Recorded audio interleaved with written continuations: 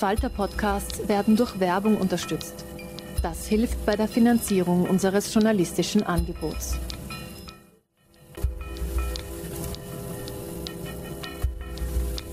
Falter Radio. Sehr herzlich willkommen im Falter Radio. In dieser Folge hören Sie die aktuelle Ausgabe des Wissenspodcasts Erklär mir die Welt. Der Host dieses Podcasts, Andreas Sator, spricht mit Falter-Chefredakteur Florian Klenk über den Fall Kurz samt all der juristischen, politischen und sonstigen Verwicklungen. Andreas Sator hilft Ihnen mit seinen Podcasts jede Woche die Welt besser zu verstehen. In diesem Fall geht es darum zu entwirren, was sich ausgehend vom Ibiza-Video rund um Sebastian Kurz so tut, vor Gericht, auf der Vorderbühne von Österreichs Innenpolitik und hinter den Kulissen. Hören Sie, erklär mir den Fall Sebastian Kurz, Florian Klenk.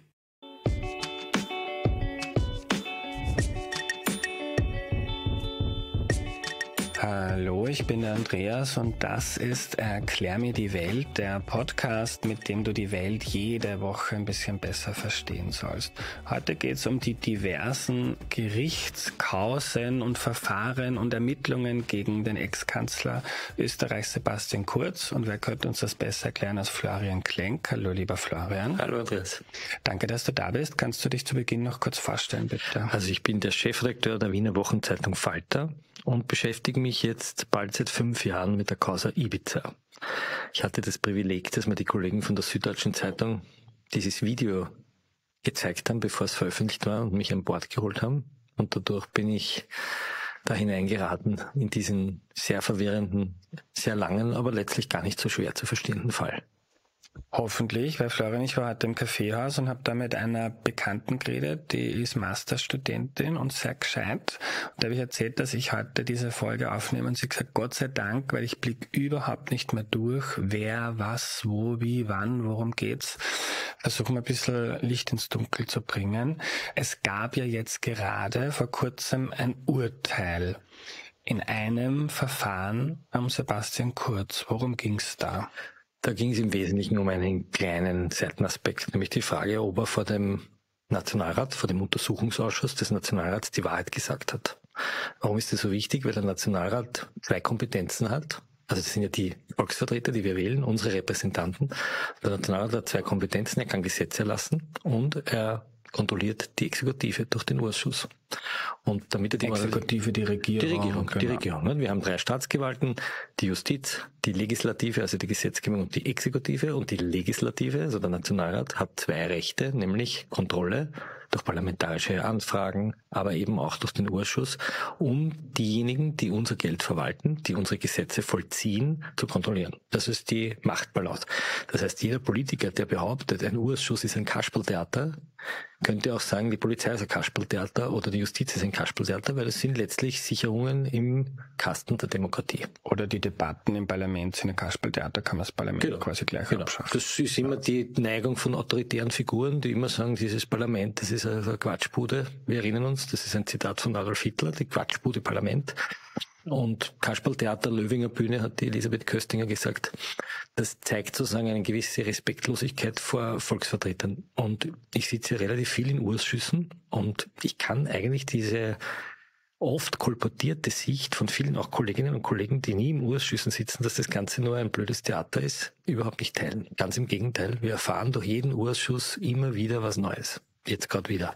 Mhm hat auch der Georg Renner erst in seinem Newsletter geschrieben, so äh, jeder, der das so pauschal kritisiert, ist wahrscheinlich noch nie drinnen gesessen, genau. weil da viel, viel Erfahrung kommt. aber, aber wenn, wenn sich die Leute dafür interessieren, man braucht nur auf die Homepage des Parlaments gehen und dort kann man alle Urschussprotokolle eins zu eins nachlesen. Das heißt, man kann, das ist auch ein Archiv. Wenn ich heute was wissen will über die Eurofighter-Causa oder über die Buvok-Affäre oder die Babak-Affäre oder was auch immer, gehe ich in die Urschussprotokolle und kann das nachlesen. Also da sitzt wer und tippt mit. Genau. Macht noch nicht die KI. Genau. ah, okay, und in so einem Urschuss war... War der Kurz und dort ist er gefragt worden, ob er sich stark gemacht hat für den Thomas Schmidt und ob er sich stark gemacht hat für den Aufsichtsrat. Und der Kurz hat gesagt, nein, ich hab, war da nur informiert. Und er wurde sozusagen in drei Punkten belastet von der Staatsanwaltschaft, also angeklagt. Und der Richter hat gesagt, in zwei Punkten kann ich dir nicht nachweisen, dass du gelogen hast, aber in einem Punkt schon und hat ihn nicht rechtskräftig, das muss man hier betonen, sonst wäre es eine Verletzung der Unschuldsvermutung, nicht rechtskräftig verurteilt zu einer bedingten Strafe. Mhm. Das heißt, wenn er es wieder macht, dann muss er ins Gefängnis. Hm. Oder was Nein, heißt bedingt? Nein, er muss natürlich nicht ins Gefängnis. Er, er hat jetzt einmal eine bedingte Haftstrafe. Ja, aber ich meine, bedingt, wenn er es wieder macht? Oder was heißt dann bedingt? Bedingt, ja, wenn er es jetzt wieder macht und nochmal macht und nochmal macht. Also wenn er dreimal lügt, dann kann es passieren, dass okay. man diese Strafe widerruft. Das ist aber sehr unwahrscheinlich. Also wir sollten da auch nicht, weil es immer heißt, es droht immer eine Freiheitsstrafe, man soll irgendwie bei der Sache bleiben. Das ist eine relativ milde Strafe. Er hat acht Monate bekommen. Das ist im unteren Bereich der Strafzumessung, weil die Strafdrohung beträgt drei Jahre. Und normalerweise sagt man, bei der Erstverurteilung kriegst du ein Drittel der Strafdrohung. Ne? Also er hätte auch zwölf Monate kriegen können, aber der Richter ist weit darunter geblieben. Also es war eine relativ milde Bestrafung. Er muss auch nichts bezahlen, außer ein bisschen äh, Verfahrenskosten. Die Anwaltskosten zahlt ihm die Partei, hat er mal gesagt. Also Schnellfahren im Ortsgebiet wäre für ihn wahrscheinlich nicht viel teurer gewesen. Mhm. Und jetzt ist die Kritik da von vielen ehemaligen Weggefährten von Kurz oder von Kurz auch selbst so, man sitzt da im Urschuss, man wird irgendwie nicht von einem Richter befragt, sondern von politischen Gegnern, die setzen mich unter Druck und die warten nur drauf, dass ich irgendwas Falsches sage und dann zehren die mich vor Gericht und das ist irgendwie alles total unfair. Gibt es da irgendwie einen Punkt, den er hat oder ist das irgendwie Nein, das vorgeschoben? Ist, das ist Quatsch. Er ist ein Profi. Er weiß sich ja zu wehren. Er ist rhetorisch geschult. Es ist ganz einfach, wenn ich das Gefühl habe, ich sage die Unwahrheit, dann muss ich sagen, dann kann ich mich entweder entschlagen, weil ich sage, wenn ich jetzt die Wahrheit sage, würde ich mich selbst belasten. Oder ich muss die Wahrheit sagen. Ja, das passiert uns dauernd. Wenn wir dann dauernd vor Gericht einvernommen, das kann auch sehr unangenehm sein. Wenn du in einem Zivilverfahren bist und du bist einem gegnerischen Anwalt ausgesetzt. Du sitzt in einem Scheidungsverfahren oder in einem Obsorgeverfahren oder du streitest mit einem Nachbarn und der gegnerische Anwalt nimmt dich in die Mangel, dann ist das oft viel härter. Der Richter hat ja, um auf dieses Argument einzugehen, das, das Tonband vorgespielt vom Ausschuss und man hat gemerkt, es ist komplett ruhig. Die einzigen, die dort ein bisschen Radau gemacht haben, waren die ÖVPler selbst. Aber der Kurz hat ganz ruhig die Fragen beantworten können und es gibt keinen Grund, dort die Unwahrheit zu sagen. Mhm. Also das ist einfach auch ein Spin, aber darüber werden wir reden, wie in diesem großen Komplex sehr viel Spin verbreitet wird. Mhm. Kurz ist er nicht alleine erstinstanzlich verurteilt worden, sondern auch, auch sein Kabinettchef. Bonelli. Bernhard Bonelli. Kannst du kurz drüber reden? Bernhard Bonelli war sein Kabinettchef. Was ist ein Kabinettchef? Das ist der Leiter seines politischen Büros im Bundeskanzleramt. Also ein Ministerium hat ja einerseits Beamte, die sind dort pragmatisiert und die kann mich im Wesentlichen nicht wegkriegen. Und Kabinette. Kabinette, das ist so das engste Team. Und das Kabinett ist sozusagen die, die Verbindungsscharnier zwischen Politikern und Beamtenschaft. Und der Herr Bonelli war der Kabinettschef. Und der wurde auch verurteilt, weil er auch vor dem Ausschuss unwahr gesprochen hat. Und auch das ist nicht rechtskräftig, der hat sechs Monate bekommen. Aber das ist eine kleine, eine ganz kleine Sache. Ich habe eine Idee.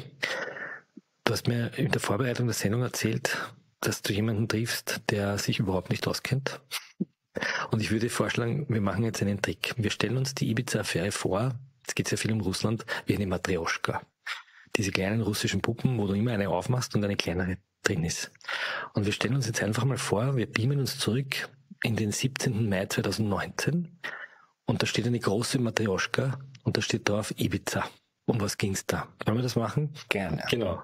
Okay, Ibiza. Was war das? Ein Video, angefertigt von Julian Hessenthaler, einem, sagen wir mal, in der Halbwelt agierenden Privatdetektiv, der im Auftrag eines Rechtsanwalts, des Herrn Mirfakei, in einer Finca in Spanien den HC Strache und den Johann Gutenus in eine Falle gelockt hat, gemeinsam mit einer vermeintlichen Oligarchennichte. Warum hat er das getan? Weil der Leibwächter von Heinz-Christian Strache, der Oliver Rieberich, immer wieder behauptet hat, dass Strache korrupt sei. Und um das sozusagen zu dokumentieren, hat man ihn in diese Videofalle gelockt, hat eine russische Oligarchennichte hingesetzt und hat gesagt, wir haben ganz viel Geld. Und Strache hat gemeint, kauf mir die Kronenzeitung, schreib mich an die Macht und wenn ich gewonnen habe, dann kriegst du staatliche Aufträge. Das ist der Grund, warum der Heinz-Christian Strache einmal zurückgetreten ist. Wir sind im 17. Mai. Große erste Puppe in der Matrioschka. Und jetzt sagt der Strache, in Ibiza einen ganz entscheidenden Satz. Er sagt, die Novomatic zahlt alle drei. Und er sagt, dass die Novomatic am Rechnungshof vorbei die Parteien finanziert. Er nennt den Herrn Benko, er nennt den Herrn Glock, die haben das immer bestritten. Und er erzählt auf einmal, wie in Österreich Parteienfinanzierung funktioniert. Und jetzt steht ein Verdacht im Raum, nämlich, dass nicht nur die Parteien finanziert werden am Rechnungshof vorbei, das wäre nicht strafbar, sondern dass für diese Finanzierung umgekehrt den Spendern Gesetze geschenkt werden. Jetzt machen wir die Matrioschka auf und haben die zweite Matrioschka in der Hand, nämlich die Casino-Affäre, der Fall Novomatic. Die Casinos gehören zum Teil auch der Novomatic. So, jetzt nehmen wir diese zweite Puppe raus und stellen sie hin. Worum geht es in der Casino-Affäre? In der Casino-Affäre geht es darum, dass der Verdacht besteht, dass die Regierung dem Glücksspielkonzern Novomatic, ein riesengroßer Milliardenkonzern, Gesetze verschafft hat, die die Novomatic im Online-Glücksspiel bevorzugen. Und im Umkehrschluss die Novomatic der Regierung einen Vorteil oder der FPÖ einen Vorteil versprochen hat, nämlich einen Vorstandsposten für einen FPÖ-Funktionär, für den Herrn Siedlow. Wir erinnern uns an diesen Herrn Siedlow, der war Bezirksrat hier in dem Bezirk Alsergrund. Wenn das stimmen würde, dann wäre das eine Bestechung, weil nämlich für ein Amtsgeschäft, nämlich die Erlassung eines Gesetzes, ein Vorteil erfolgt. So. Diesen Vorwurf hat jemand in einem anonymen Schreiben an die WKStA kurz nach Auffliegen der Ibiza-Affäre geäußert. Und dieser Vorwurf war so akribisch niedergeschrieben, dass die WKStA gesagt hat, wir machen eine Hausdurchsuchung. Und zwar warten wir jetzt nicht drei Wochen oder vier Wochen oder fünf Monate bis zu der Hausdurchsuchung, sondern wir machen sie gleich und wir machen sie zeitgleich bei vielen Leuten, die dort genannt sind. Beim HC Strache, beim Josef Böll, beim Chef der Novomatik, beim Eigentümer der Novomatik, beim Raiffeisen Generalanwalt, beim ehemaligen Finanzminister. Und einmal rücken die aus und beschlagnahmen Dutzende Handys und öffnen die. Und diese Handys entpuppen sich auf einmal als, wenn man so will, Archive der schwarz-türkisen Regierung. Schwarz-türkis-blau. Schwarz-türkis-blauen Regierung. Mhm. Also türkis, türkis, was habe ich jetzt gesagt? Schwarz Schwarz-türkis Entschuldigung. Ja. der schwarz-blauen Regierung. Oder türkis-blau, wie sie sich genannt hat. Also jener Regierung, die Sebastian Kurz mit Heinz-Christian Strache 2017 bis 2019 geformt hat. Und jetzt wird spannend, weil die Staatsanwälte darauf gedrängt haben, diese Handys auszuwerten. Da gab es kurz, das muss man jetzt nicht so genau wissen, ein Hickhack zwischen der eher der ÖVP zuzuordnenden Polizei im Bundeskriminalamt und der eher dem Justizministerium als unabhängig und später auch als rotes Netzwerk geframten WKStA um die Frage, wer wertet die Handys aus? Welche Polizisten agieren da? Die sind in einen großen Streit geraten, weil die Staatsanwälte gesagt haben, ihr von der Polizei, ihr seid befangen. Da sitzen Leute drin, die haben eine sehr starke ÖVP- und FPÖ-Nähe. Und tatsächlich hat man später ein auf diesen Handys einen Chat gefunden zwischen einem Polizisten und Strache, wo dieser Polizist Strache gratuliert und sagt, bitte komm wieder zurück ins Amt und die Republik braucht dich, alles Liebe. Also die WKStR hat was gewittert, was letztlich sich als wahr herausgestellt hat. Jetzt haben wir diese Matrioschka, da steht drauf Glücksspielaffäre, Casinoaffäre, Novomatic-Affäre. Und auf einmal finden die Ermittler tatsächlich einen Zettel, wo drauf steht Hintergrunddeal mit dem Blauen. Wir haben einen Hintergrunddeal mit dem Blauen. Das finden wir beim Generalanwalt von Raiffeisen in einem Kalender. Also die jungen Leute haben alles in Chats geschrieben, die Alten haben alles in ihre Kalender notiert. Das Prinzip jedes Schriftlein Giftel wurde negiert hat Mails sichergestellt bei einem Steuerberater, der hat die versiegeln lassen. Darum dauert es so lange, weil Steuerberater haben einen Berufsschutz und daher das ist, dauert es immer noch so lange. Diese Casino-Affäre, die ist ein bisschen in den Hintergrund gedreht. Im Rahmen dieser Casino-Affäre hat man Zeugeneinvernahmen gemacht. Da wurde zum Beispiel die Chefin der Casinos Austria, die Frau Bettina Glatz-Kremsner, gefragt, ob sie mit dem Strache irgendeinen Chat über so einen Hintergrunddeal geführt hat. Und sie hat gesagt, nein, nein, mit dem habe ich nicht gechattet. Und das war eine falsche Zeugenaussage. Deswegen ist Bettina Glatz-Kremsner jetzt zu einer Diversionszahlung, also eine Bußgeldzahlung von 200.000 Euro verurteilt worden. Bettina Glatz-Kemser war nicht irgendwer, sie war die Stellvertreterin von Sebastian Kurz. Jetzt geht die Polizei dahin und findet beim Thomas Schmidt zu Hause eine Time Capsule, so eine Apple-Platte. Viele von uns haben das zu Hause. Was macht die? Die macht immer wieder ein Backup vom Handy, ohne dass wir es merken. Wir gehen nach Hause, unser Handy hängt sich ins WLAN und kopiert. Der Thomas Schmidt hat seine Handys gelöscht gehabt. Das haben wir noch nicht gesagt, wer der Thomas Schmidt ah, ja, ist. Genau. Der Thomas Schmidt war eine wichtige Figur in dieser Casino-Affäre, also zweite Matrioschka, weil der war der Generalsekretär im Finanzministerium, also der Spitzenbeamte im Finanzministerium. Der, wenn man so will, das, was Christian Pilnacek in der im Justizministerium war, also ein Beamter, dem alle anderen Beamten unterstanden sind, also die mächtigste Figur. Und der ist ernannt worden zum Chef der ÖBAG, die österreichische Bundesbeteiligungs AG. Die verwaltet alle Anteile der Republik Österreich an öffentlichen Unternehmen, an denen wir, also die OMV und solche Dinge, wo wir als Steuerzahler Anteile haben. Das ist eine Holding und die verwaltet das. Und dieser Thomas Schmidt wurde von Sebastian Kurz, wie sich jetzt herausstellt, oder auch von seinem Umkreis befördert vom Generalsekretär des Finanzministeriums zum Chef der ÖBAG. So. Wir befinden uns jetzt aber in der Zeit, wo er Generalsekretär war. Eine sehr wichtige Figur, weil er nämlich dort Anzeigen geschaltet hat. Er hat viel Kohle gehabt. Ein Generalsekretär im Finanzministerium entscheidet, welches Ministerium Geld bekommt. Er entscheidet, welche Werbeetat ist. Er hat Sebastian Kurz einmal einen Chat geschrieben, wo drin steht, Sebastian kann jetzt Geld scheißen weil er eben das, den Werbeetat erhöht hat. So. In der Wohnung dieses, Sebastian, äh, dieses Thomas Schmidt, der übrigens der Pressesprecher von Karl-Heinz Grasser war, für die älteren Zuhörer, das ist der Finanzminister der FPÖ und später ÖVP, der acht, acht Jahre Haft bekommen hat wegen Bestechung, nicht rechtskräftig. Kommen wir nachher noch dazu. Zu Hause beim Thomas Schmidt findet man eine Festplatte und in dieser Festplatte findet man ein Backup-File. Und zwar ein Backup-File seines Handys das er gelöscht hat. Er hat aber vergessen, dass er dort noch eine Kopie liegen hatte. Und die Polizei hat diese Festplatte mitgenommen, hat zuerst gesagt, da ist nichts drauf. Und die Justiz hat sich das aber nochmal genau angeschaut und gesagt, hey, da ist, ja eine, da ist ja das ganze Handy drauf. Das Handy, das er gelöscht hat, da haben wir eine schöne Kopie. Und haben das aufgemacht. Thomas Schmidt hat das Passwort hergegeben, weil er gleichzeitig verlangt hat, dass viele private Fotos gelöscht werden, was die Justiz gesagt hat, machen wir, weil die privaten Fotos brauchen wir nicht. Das ist diese Mehr dieser vielen tausenden Fotos. Er wollte einfach, dass seine Priva sein Privatleben nicht in den Akt wandert und hat daher das Passwort hergegeben. Er hätte das Passwort gar nicht hergeben müssen, dann hätten das vielleicht nie geknackt. Aber die haben gesagt, gut, wir löschen die Fotos, du gibst uns das Passwort. Und auf einmal öffnet sich eine Schatulle. Und jetzt nehmen wir mal die dritte Matrioschka, die dritte Holzpuppe. Und da steht auf einmal drauf, Beinschab-Affäre. Weil eine Wirtschaftsexpertin der Wirtschafts- und Korruptionsstaatsanwaltschaft findet in diesen Chats von Thomas Schmidt auf einmal das Wort Österreich Beinschab-Tool. Und sie findet eine ganze Menge Nachrichten, in denen die engsten Mitarbeiter von Sebastian Kurz mit dem Thomas Schmidt und mit dem Medienmogul Wolfgang Fellner, das ist der Herausgeber der Boulevardzeitung Österreich, immer wieder darüber reden, dass der Inserate kriegt und umgekehrt positive Berichterstattung macht. Und diese Mitarbeiterin, der WKStA, eine Wirtschaftsexpertin, stutzt und fängt an zu graben und entdeckt da auf einmal etwas ganz Interessantes, nämlich, dass der Thomas Schmidt immer wieder einer Frau namens Beinschab, Sabine Beinschab, die eine Mitarbeiterin war, der früheren Familienministerin Sophie Kammersin, dass der ja immer wieder Studien bezahlt, die die Sabine Beinschab aber ganz offensichtlich für die ÖVP erstellt. Sie fragt ihn noch einmal, wo soll ich denn diese ÖVP-Studie verrechnen? Soll ich die dazu packen zur Betrugsbekämpfungsstudie? Das ist ganz lustig. Sie betrügen sozusagen uns Steuerzahler damit, dass sie so tun, als hätte sie eine Betrugsbekämpfungsstudie gemacht. In Wirklichkeit macht sie aber eine Umfrage für die ÖVP. Und man kommt darauf, dass sie ungefähr 500.000 Euro, sie jetzt für einen einzelnen Straffall sehr viel Geld, wenn man es jetzt vergleicht mit der Großkorruption noch nicht ganz viel Geld, aber doch eine erklägliche Summe, uns Steuerzahlern verrechnet hat für Studien, die sie in Wirklichkeit für die ÖVP gemacht hat. Und zwar nicht nur einfach Studien, sondern sie hat diese Studien auch immer wieder frisiert. Sie hat sie immer wieder so gemacht, dass es für den Sebastian Kurz gut ausschaut. Wir befinden uns da jetzt im Jahr 2016.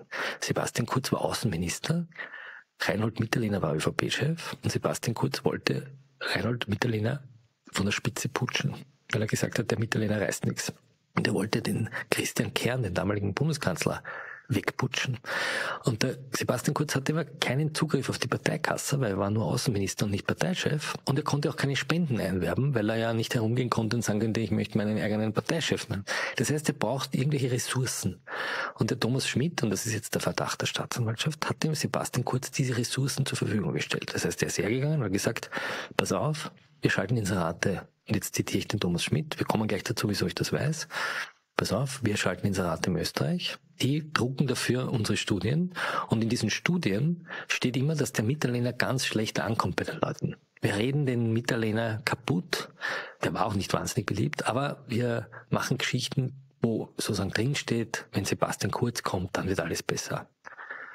Und man kann in den Chats nachlesen, dass die engsten Mitarbeiter von Kurz tatsächlich immer wieder beim Wolfgang Fellner gedrängt haben. Der Thomas Schmidt schreibt irgendwann den ganz zentralen Satz, wer zahlt, schafft an, ich liebe das. Und als der Thomas Schmidt aus dem Finanzministerium weggegangen ist, ist ein anderer Pressesprecher gekommen, der hieß Jim Lefebvre. Der war der Pressesprecher vom Hartwig Löger, vom Finanzminister. Und der hat irgendwann mal dem Thomas Schmidt sein Leid geklagt. Er hat gesagt, du, jetzt bin ich mit dem Minister, jetzt habe ich die Medienleute mitgenommen, die, die Österreich-Leute nach Brüssel und die schreiben nichts. Wir haben denen alles präsentiert, aber die, die machen keine Geschichte. Woraufhin der Thomas Schmidt schreibt, hast du es noch immer nicht kapiert. Du gehst zum Wolfgang Fellner für die Geschichte und zum Helmut Fellner, das ist sein Bruder, dem Geschäftsführer, fürs Geld. Fürs Geld. Das heißt, du musst zahlen. Daraufhin sagt er, aber ich habe gedacht, das ist eine Redaktion, das ist unabhängiger Journalismus. Und er sagt, Dream on. Also wörtlich sagt er nicht Dream on, aber er sagt sozusagen, hast geglaubt. Das heißt, er weiht seinen Nachfolger ein in dieses System, nimm dir Steuergeld und du kriegst dafür positive Berichterstattung für den Chef, für den Sebastian Kurz. So, das war jetzt die dritte Matrioschka. Wir rekapitulieren nochmal. Erste Matrioschka, die Ibiza-Affäre. Da geht es darum, ob Strache eine Straftat begangen hat. Ziemlich sicher nicht, weil damals das Anfüttern von Abgeordneten nicht strafbar war. Zweite Matrioschka, die Casino-Affäre wurde der FPÖ ein Vorteil gegeben für ein freundliches Novomatic-Gesetz. Wissen wir noch nicht, weil viele Mails noch nicht öffentlich sind. Dritte Matrioschka, die sogenannte Inseratenaffäre des Österreich-Beinschabstuhl.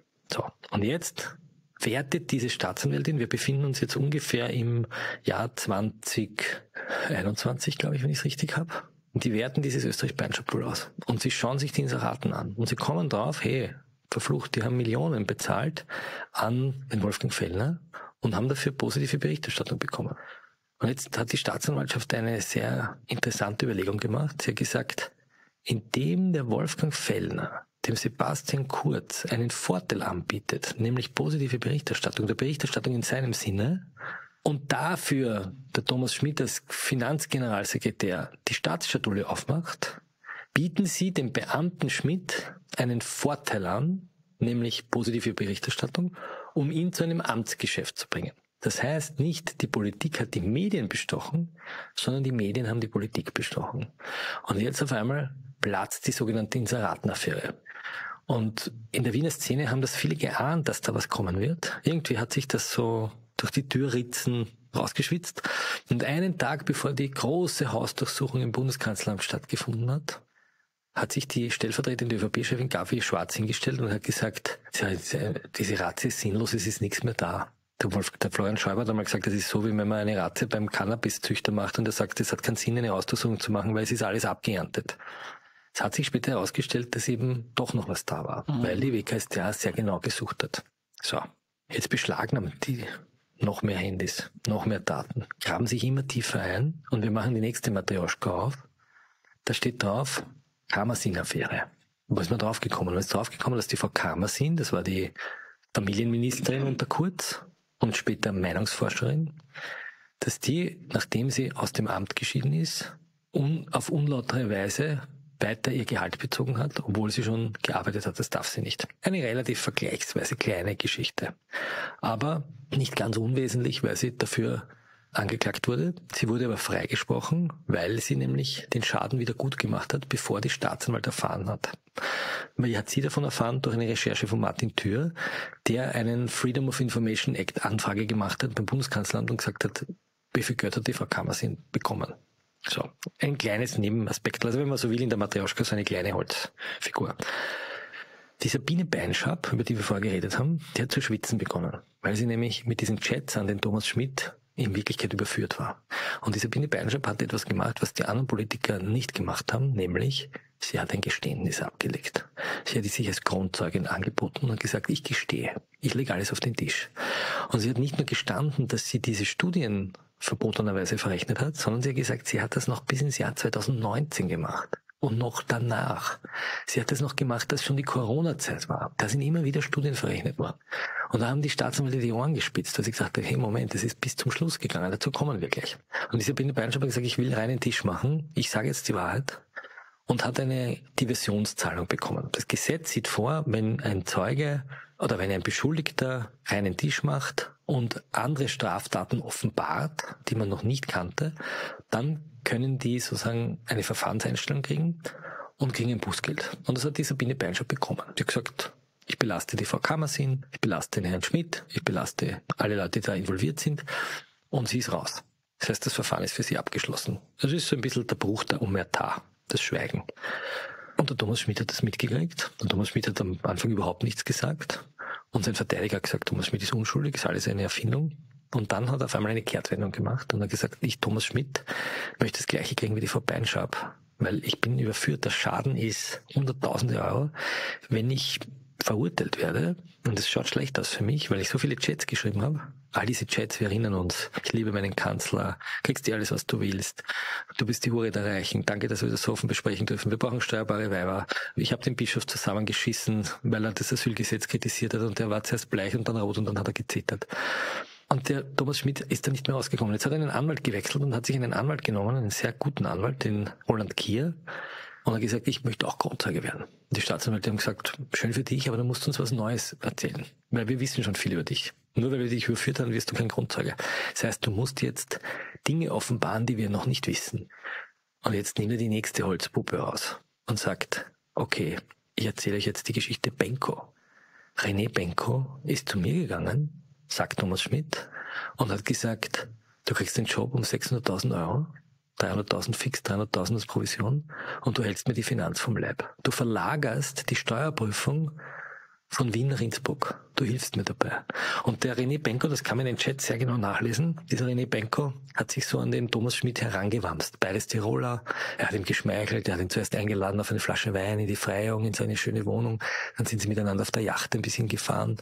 Gibt sehr berührende Szenen, wo sie sich gegenseitig schreiben und wo auch der Thomas Schmidt dann immer wieder seinen Eltern schreibt, wie stolz er ist, dass er diesen tollen Tampano Benko kennengelernt hat. Und er sagt, er haut sich für ihn rein, damit er eben weniger Steuern zahlen muss. Das ist die nächste Matrioschka. Jetzt machen wir die auf und sehen wieder eine Matrioschka, nämlich eine namens Sigi Wolf. Die Sigi Wolf-Affäre.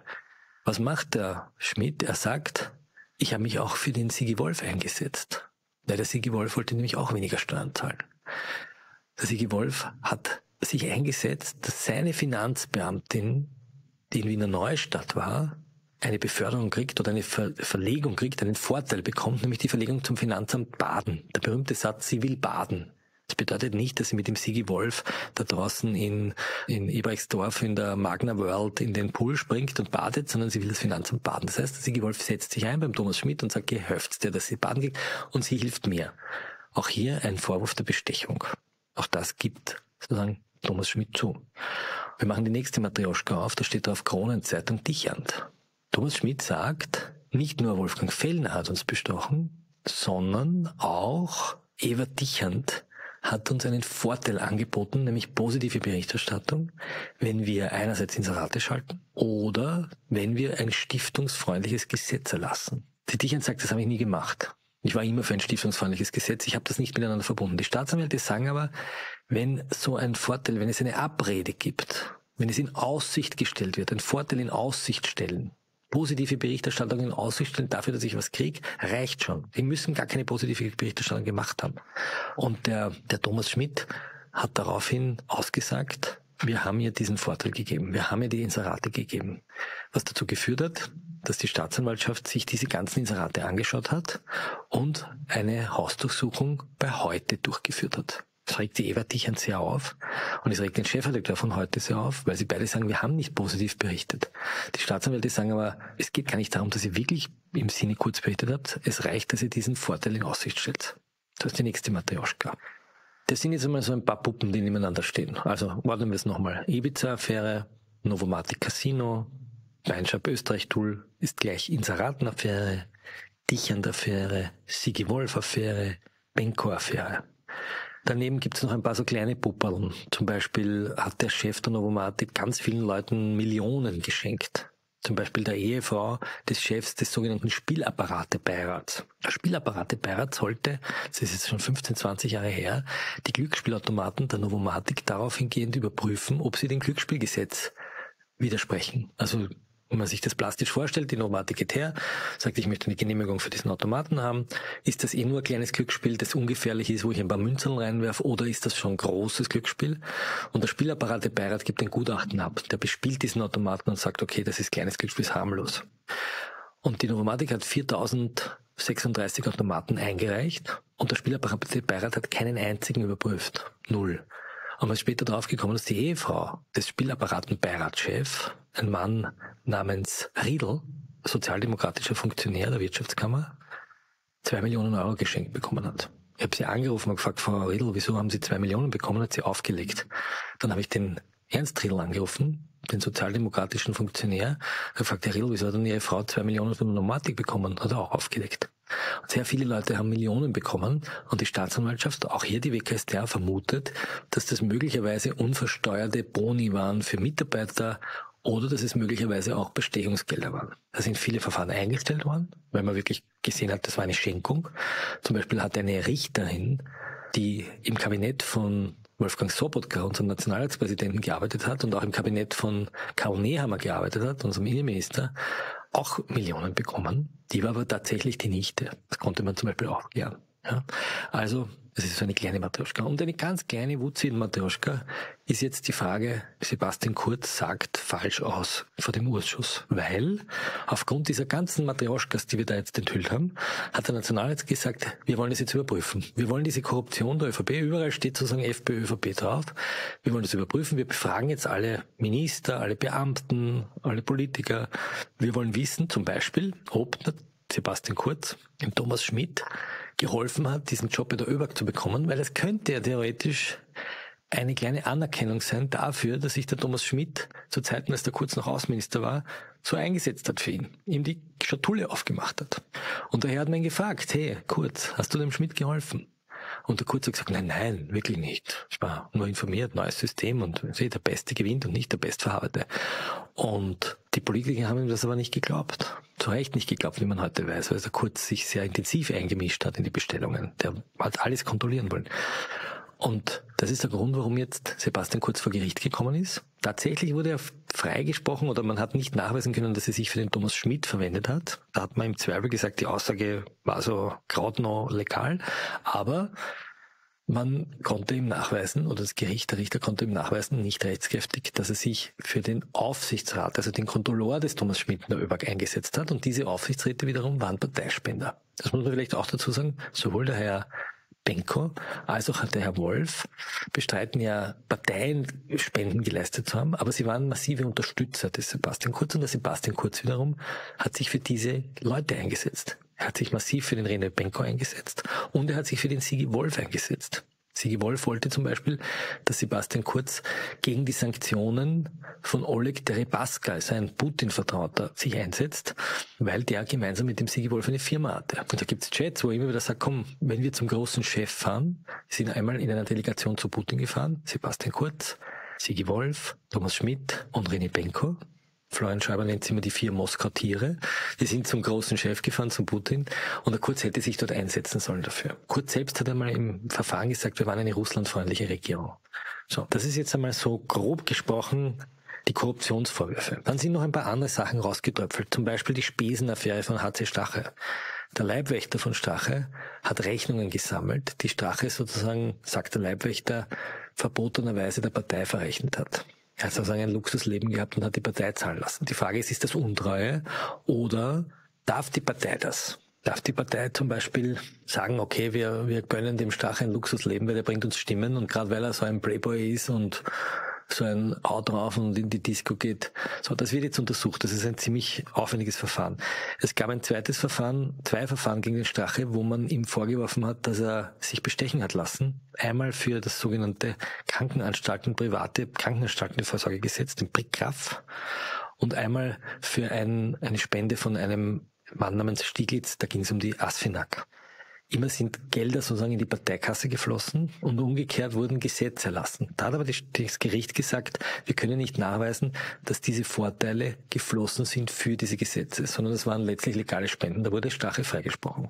Da sind wir hin und her gegangen. Also da wird gerade Judikatur gemacht. So. Das ist die Matrioschka Ibiza. Also eine große Schachtel, in der sich ganz viele kleine Schachtel befinden. Und wenn man so will, wenn man in diesem Bild bleiben will, immer wenn sozusagen eine Kiste aufgemacht wird, ist die nächste rausgeploppt. Und jetzt muss man wissen, dass in der Staatsanwaltschaft nur ungefähr vier, fünf Leute an diesem Fall arbeiten. Es wird immer mehr und immer mehr, weil irgendwann mit vier Leute, ja, das ist sozusagen so viele Leute, wie in ein Polizeiauto gehen. So viele Leute hat der Bundeskanzler, Pressesprecher und Fotografen bei einem Pressetermin. Die können sich natürlich der Polizei bedienen, aber vier Leute sind sehr wenig.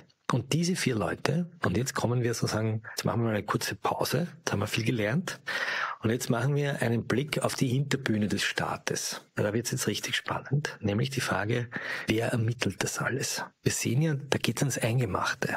Da geht es um die Frage, werden Medien bestechen Medienpolitiker und umgekehrt zahlen wir Steuergeld an korrupte Medien. Es geht um die Frage, ob wichtige, einflussreiche Milliardäre sich die Finanz vom Hals halten konnten. Es geht um die Frage, ob die Glücksspielindustrie sich Gesetze kaufen konnte. Es geht um die Frage, ob der Heinz-Christian Strache einer Oligarchennichte versucht hat einzureden, dass sie in der Kronenzeitung investiert, weil er, ich zitiere Heinz-Christian Strache, ein Mediensystem mit der Orban will.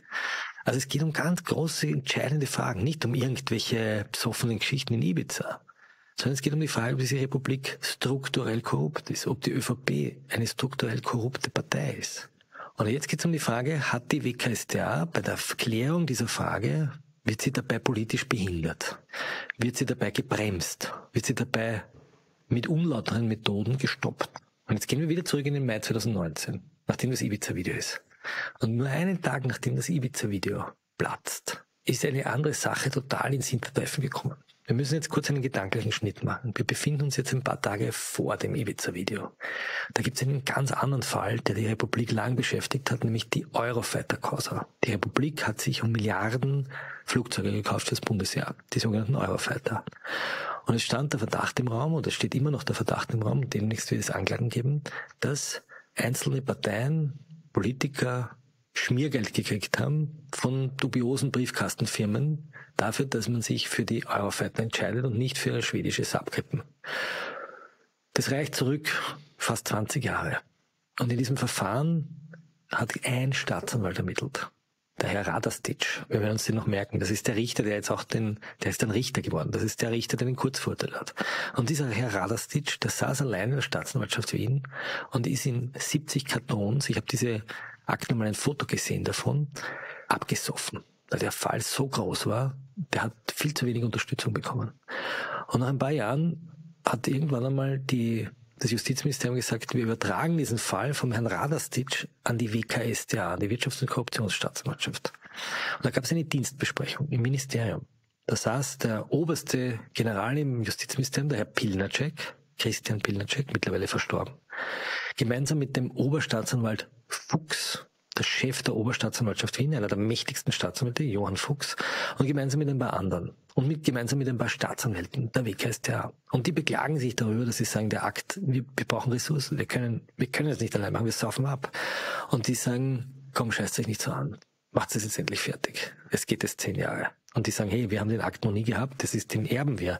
Und die sagen, hey, wollt ihr mal was arbeiten? Und dieser Bildnercheck geht denen wahnsinnig auf die Nerven. Und die haben jetzt so eine Art dienstrechtlichen MeToo-Effekt und sagen, wir lassen es jetzt nicht mehr, mit, mit uns reicht's, wir lassen es nicht mehr am Arsch klopfen von denen da oben. Und jemand nimmt das auf, diese Dienstbesprechung, offiziell zu Protokollzwecken, um ein Protokoll zu führen, nicht um es an die Medien. Es ist nie das Tonband öffentlich geworden. Aber der Inhalt dieser Besprechung wurde ganz genau verschriftet. Und da sagt der Christian Bildercheck, wenn ihr der Meinung seid, das geht weg, da schlagt es, ich mache die Augen zu, ich drücke die Augen zu, ich schaue nicht so genau hin. Und die sagen, hey, wir können nicht einen Fall erschlagen, wir müssen ihn ermitteln. Das kann man nicht einfach erschlagen, das wäre Amtsmissbrauch. Und zeigen den Bildercheck an, den mächtigen Bildercheck. Und der ist außer sich und der zeigt wiederum die Staatsanwälte an. Und es kommt zu einem unglaublichen Konflikt. Wir befinden uns vor Ibiza. Und die ganze Sache fliegt gerade in die Luft. Auf einmal kriegen wir Einblick in die Hinterzimmer der Justizbürokratie, die in Korruptionskausen ermittelt. Und drei Tage später platzt die Ibiza-Affäre. Der Bildercheck atmet durch und denkt sich, zum Glück bin ich jetzt raus. Und jetzt passiert was Interessantes. Genau die Leute, die sich in dieser Dienstbesprechung aufgeregt haben, dass ihnen die Oberen so am Arsch gehen und sie dauernd zu wenig ausstatten, genau die holen sich jetzt die Causa Ibiza. Weil sie nämlich schon in einem anderen Verfahren einen Anhaltspunkt haben zum Glücksspielwissen, der dazu passt. Und die sagen, der Akt gehört uns. Und da erlässt der Herr Bildnercheck eine Order, die nicht ganz klar ist, ist es eine Weisung oder ist es nur ein Wunsch, und sagt zum Oberstaatsanwalt Fuchs, das ist der zweite, der gesessen ist, wir müssen ein Vorpreschen der WKStA verhindern. Wir müssen schauen, dass die nicht die Medienarbeit machen, hat er gesagt. Aber die haben das so verstanden, dass sie sagen, die sollen den Akt nicht kriegen. Und da gibt es eine, eine Weisung, die sollen den Akt in Ruhe lassen. Die sollen erst das Video, man schaut sich erstmal das Video an. Also die steigen mal auf die Bremse, weil sie wissen, da sitzen diese vier Oberstaatsanwälte der WKStA, die dann intern den Spitznamen bekommen haben, the Fab Four die Fabulous Four. Die sind denen wahnsinnig auf die Nerven gegangen. Kurze Zwischenfrage, wie geht das jetzt? Wer entscheidet dann, wer den Akt kriegt? Wie kann die sagen so quasi, das ist unserer? Naja, weil die WKStA Fälle bekommt, Kraftgesetz. Ja, die werden hier zugeteilt nicht, weil der Minister sagt, ich will das so oder so, sondern gibt es eine klassische Einteilung, wenn es sozusagen politische Kriminalität ist, in dem Fall Millionen an Steuergeldern, dann ist die WKStA zuständig. Und die WKStA nimmt sich diesen Fall und fängt an zu ermitteln und will Hausdurchsuchungen machen und macht auch Hausdurchsuchungen. Und in dem Moment, und das können wir heute wissen, weil wir auch die Mails des Herrn Bildnercheck und des Herrn Fuchs kennen, werden die ganz unruhig und sagen, hey, wir brauchen da zumindest das Bundeskriminalamt, wir brauchen da ein paar vernünftige Leute und sie holen, sie richten ein die sogenannte SOCO-Tape. Sonderkommission Tape, Tape für das Videoband aus Ibiza. Und diese Soko-Tape besteht aus Polizisten, die ein sehr merkwürdiges Verhalten setzen. Nämlich einer der Polizisten, Nico Reit, ein Kriminalbeamter, schreibt einen Tag nach Auffliegen des Ibiza-Videos an HC Strache, lieber HC, wann kommt ein Rücktritt vom Rücktritt? Die Republik braucht dich, alles Liebe, dein Nico. Das wissen wir, weil man das später bei Strache gefunden hat. Und einige Polizisten merken das dass da was im Busch ist und melden das der Staatsanwaltschaft in einem anonymen Schreiben und sagen, schaut sich die Sokotep genau an, da sitzen einige Leute, die sind sehr nah an der ÖVP, sehr nah an dem Strache. Woraufhin die WKStA an den Chef der Sokotep herantritt, Andreas Holzer, der später befördert wurde zum Chef des Bundeskriminalamts und sagt, kann es sein, dass bei euch irgendjemand befangen ist?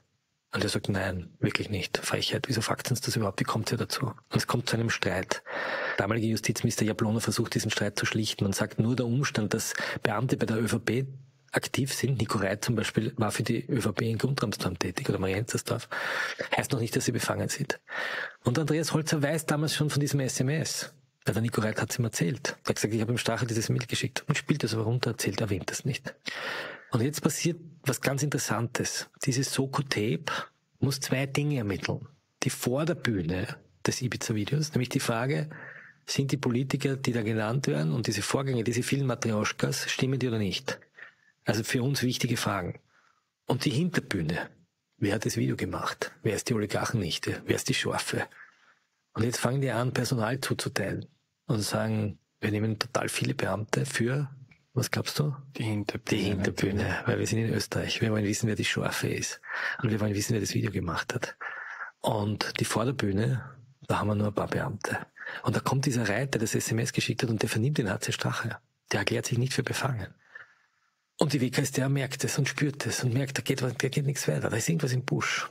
Und das wird sich so aufstauen im Laufe der Jahre, dass irgendwann die WKStA dieser Soko Ibiza den ganzen Akt entzieht und sagt, wir vertrauen euch nicht mehr. Und auf dieser Hinterbühne, zu der kommen wir gleich, aber es entsteht ein richtiger Krach. Die WKStA-Staatsanwältin Jillek heißt sie, tritt einmal vor den Urschuss und sagt, ich werde von den Vorgesetzten, von Herrn Pilnacek und von Herrn Fuchs dauernd segiert. Wir kriegen dauernd Berichtsaufträge. Wir müssen denen dauernd melden, was wir machen. Jeden einzelnen Schritt. Wir werden die ganze Zeit segiert. Und sie wirft ihr Amt hin. Sie sagt, ich will nicht mehr. Ich hab satt. Und geht nach Graz, wo sie herkommt. Und vor dem Urschuss, man kann das nachlesen in den Urschussprotokollen, beklagt sich ein WKStA-Staatsanwalt nach dem anderen über unlautere Eingriffe. Und wir wissen heute, weil wir das Handy von Christian Pilnacek lesen können, weil das beschlagnahmt wurde, dass tatsächlich der Christian Pilnacek im Hintergrund versucht hat, dieser WKStA, ich habe das einmal geschrieben, die Schuhbänder zu verknoten, während die aufs Feld laufen als eine Razzia im Finanzministerium angestanden ist, schreibt er dem Kabinettschef, wer vorbereitet Gernot auf die Einvernahme, also den Gernot Blümel. Er spricht von einem Putsch gegen Sebastian Kurz. Er nennt die WKStA-Staatsanwälte irre und Verrückte. Und er schaukelt sich mit diesem Oberstaatsanwalt Fuchs richtig auf. Die schicken sich gegenseitig Akten, fotografieren Akten, spielen das an den Kurier, machen die WKStA schlecht, wo es nur geht. Und interessanterweise fällt das in der österreichischen Medienlandschaft auf durchaus fruchtbaren Boden. Sebastian Kurz macht immer wieder Hintergrundgespräche und sagt, die WKStA ist ein linkes Netzwerk. Da sitzen lauter Sozis. Da sitzen aber gar keine Sozis. Weil die Sozis schon seit dem Jahr 2008 nicht mehr im Justizministerium sitzen. Sondern es waren lauter schwarze Justizminister Und diese Staatsanwälte dort sind noch keine Sozis, sondern die Staatsanwälte sind in Österreich parteifrei, so wie die Richter. Die haben eine sogenannte Welser Deklaration unterschrieben, dass sie nicht, anders als die Polizei, nicht bei politischen Organisationen Mitglied werden. Da stehen die Richter ganz, ganz, ganz streng. Und es kommt zu diesem Krieg. Man nennt es immer den Krieg. Und die WKStA sagt, dieser Pilnacek und dieser Fuchs, die behindern uns. Und das Ganze eskaliert. Und irgendwann, als das Handy des Pilnacek öffentlich wird und man sieht, wie er da im Hintergrund agiert hat, entzieht die Justizministerin dem Christian Pilnacek die Agenten schon ein bisschen vorher und entzieht sie dem Johann Fuchs und gibt sie an die Staatsanwaltschaft, an die Oberstaatsanwaltschaft Innsbruck. Und auf einmal können die WKStAler in Ruhe ermitteln. Auf einmal müssen sie keine Berichte mehr schreiben. So. Die WKStA macht einige Fehler. Sie ist ein bisschen dünnhäutig vor dieser Kulisse. Sie zeigt einmal die Journalistin Anna Thalhammer an wegen eines Artikels, wegen Vorwurf, also wegen Verleumdung. Eine unglaublich dumme Aktion, die der WKStA nicht zur Ehre gereicht ist, eigentlich skandalös. Sie versucht, eine Journalistin unter Druck zu setzen. Gestern Billercheck kriegt das mit und steckt das dem Kurier. Und sagt, schaut sich die an, diese Behörde, die sind verrückt geworden. Es läuft parallel dazu das Verfahren gegen Christoph Korher, gegen den Grünen, den ehemaligen Planungssprecher der Grünen. Das eine sehr schwache Anklage war, der wurde freigesprochen. Das ist, glaube ich, noch nicht rechtskräftig. Und es passieren einige Freisprüche. Und auf einmal tritt die ÖVP an den Plan und sagt, diese WKStA ist eigentlich ein Staat im Staat. Eine völlig intransparente Behörde. Und 99 Prozent der Anzeigen, die dann eingehen, werden eingestellt. Jetzt muss man aber wissen, dass jede Anzeige, die die kriegen, wenn die die auch nur zurücklegen, in diese Statistik einfließen. Dass viele Dinge tatsächlich einfach nichts sind. Das nicht, weil sie faul oder dumm oder zu blöd sind, sondern weil viele Anzeigen, die sie bekommen, einfach keine Straftat bestanden sind. So, und diese WKStR steht jetzt dann, kann sich eigentlich nicht wehren. Die haben keine richtig gute Pressestelle, die haben keinen Social Media Account, die haben nicht die Power, die Sebastian Kurz hat, der sozusagen nicht nur das ÖVP-Generalsekretariat hatte, sondern sehr lange auch das Bundeskanzleramt hatte und jetzt viele Pressesprecher hat und Message Control beherrscht, sondern die wehren sich fast nie. Während das Ganze passiert, passiert übrigens der Fall Krasser. Karl-Heinz Krasser wird verurteilt zu acht Jahren Haft. Auch hier, kleiner Rückblick, ist die WKStA massiv angegriffen worden von Karl-Heinz Krasser. Und Kurz macht im Grunde nur das Gleiche. Was macht er? Er wirft der Staatsanwaltschaft vor, die Beweise zu fälschen, den Thomas Schmidt unter Druck gesetzt zu haben, und zwar so unter Druck, dass der falsch aussagt. Wörtlich sagt Sebastian Kurz, die WKStA diktiert und Thomas Schmidt serviert. Ein ganz ein schwerwiegender Vorwurf. Und sie wirft in Wirklichkeit eine Politjustiz vor. Das heißt, was die ÖVP und was Sebastian Kurz macht, ist zu sagen, nicht ich bin korrupt, nicht meine Leute sind korrupt, sondern die Justiz ist korrupt. Er dreht das Spiel um. Das gleiche wie Karl-Heinz Krasser. Müsste sie nicht eigentlich dann vor Gericht werden? Das, das könnte man machen, aber die ja, auf das Feld gehen wir gar nicht. Na, umgekehrt. Wenn Kurz meint, dass da Politjustiz betrieben wird und müsste sie eigentlich gedrängt wird, müsste Macht er aber nicht. Macht er nicht. Er hat was anderes gemacht. Seine Leute haben diese ganzen Sicherstellungen von den Handys immer wieder Rechtsmittel dagegen eingelegt vor das Oberlandesgericht Wien und gesagt, das ist rechtswidrig, dass er uns da die Handys abnimmt. Und das Oberlandesgericht hat immer gesagt, nein, es besteht ein dringender Tatverdacht. Also das Oberlandesgericht hat das eigentlich eingemauert. Das heißt noch nicht, dass die schuldig sind. Aber die Rechtsmittelinstanzen, es ist nicht so, dass hier der Staat im Staat WKStA einfach ähm, schalten und walten kann, sondern es gibt eine richterliche Kontrolle. Und die Gerichte haben der WKStA fast immer in diesem Verfahren Recht gegeben.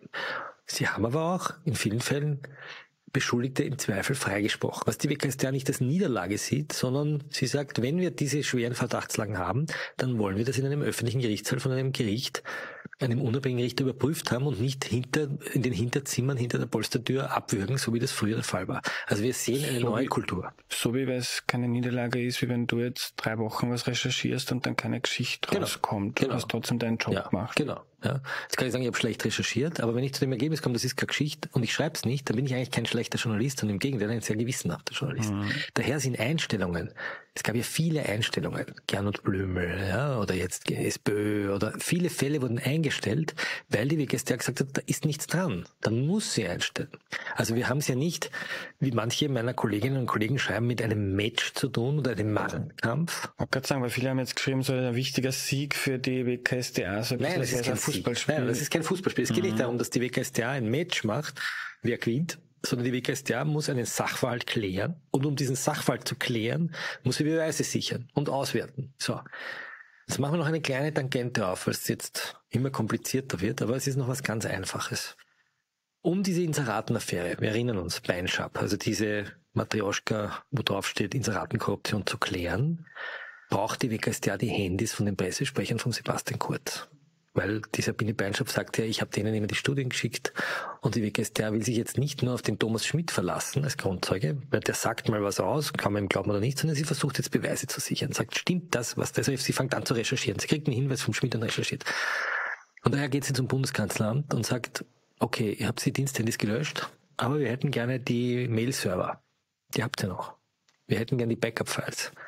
Und sie holen sich einen Sicherstellungsbefehl, gehen zu Karl Nehammer, dem Bundeskanzler, der mittlerweile Bundeskanzler ist, Nachfolger von Kurz, und sagen, gib uns die Mail-Server. Weil wir wollen untersuchen, ob das, was Thomas Schmidt sagt, stimmt oder nicht stimmt. Und wir würden jetzt ja von einem Bundeskanzler erwarten, dass der sagt, bitte kommt herein, nehmt euch mit, untersucht, es ist in unserem Interesse, ich bin Vertreter der Republik, ich bin der unter Anführungszeichen Regierungschef, ich bin der Kanzler, hier bitte, wir haben nichts zu verbergen. Aber Karl Nehammer sagt, vertreten durch die Finanzprokuratur, nein, wir geben es nicht her, weil das ist privat, wir legen Rechtsmittel ein. Und das Landesgericht sagt, nein, das ist nicht privat, das sind dienstliche Mails. Und dann gehen sie in die Oberinstanz und sagen, hey, das ist privat. Und die sagen, nein, das ist nicht privat. Und es vergeht ein Jahr, um diese Entscheidung zu kriegen. Und jetzt müssen die die Mails rausgeben und die landen bei Gericht. Und kaum liegen diese Server im Zimmer vom Richter, sagt der Karl Nehammer, vertreten durch die Finanzprokuratur, wir können nicht ausschließen, dass Staatsgeheimnisse drin sind. Und wenn Staatsgeheimnisse drin sind, dann müssen wir es versiegeln. Woraufhin der Richter sagt, wieso könnt ihr das nicht ausschließen? Ihr müsst es ausschließen können, weil Staatsgeheimnisse kann man nicht einfach per Mail schicken. Und die sagen, ja, das könnte sein. Und daher müssen wir das jetzt überprüfen, ob Staatsgeheimnisse drin sind. So, warum macht das der Karl Nehammer? Man könnte sagen, weil er seine Mitarbeiter schützen will, weil er die Staatsgeheimnisse schützen will. Man könnte aber auch den Eindruck bekommen, weil er die ÖVP schützen will, weil er seine eigenen Leute schützen will. Zum Beispiel den berühmten Herrn Gerald Fleischmann. Der war der Pressesprecher des Sebastian Kurz. Der war der Medienbeauftragte der Regierung. Der war der Mann, über den diese ganzen Inserate gelaufen sind. Und der Gerald Fleischmann ist jetzt Pressesprecher der ÖVP und macht im Hintergrund die Pressearbeit der ÖVP. Das ist der Mr. Message Control der immer wieder sozusagen, wir erinnern uns an sein Buch, geschrieben hat, man muss Skandale kontrolliert sprengen.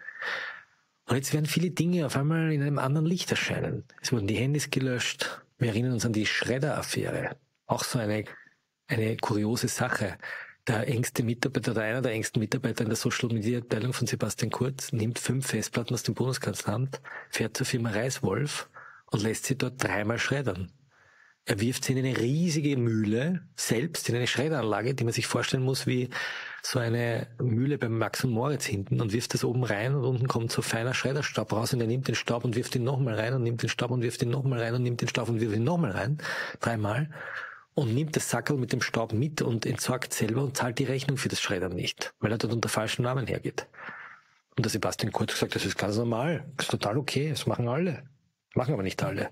Und die Frage ist, warum machen sie das auf diese Art und Weise? Warum rufen sie nicht einfach die IT im Haus an und sagen, bitte schreddern? Waren da vielleicht Dinge drauf, die heute mit dem Aussage des Thomas Schmidt den Sebastian Kurz belastet hätten? Sebastian Kurz hat im Verfahren jetzt wegen falscher Zeugenaussage gesagt, der Thomas Schmidt lügt und ich habe zwei Zeugen, die können das bezeugen, zwei Russen.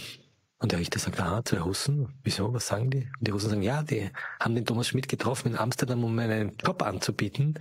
Nämlich, er sollte ein russisches Startup in Georgien leiten, das Öl fördert. Und der Richter sagt, das ist aber merkwürdig, weil der Thomas Schmidt kann weder Georgisch noch Russisch, noch hat er je was mit Öl zu tun gehabt.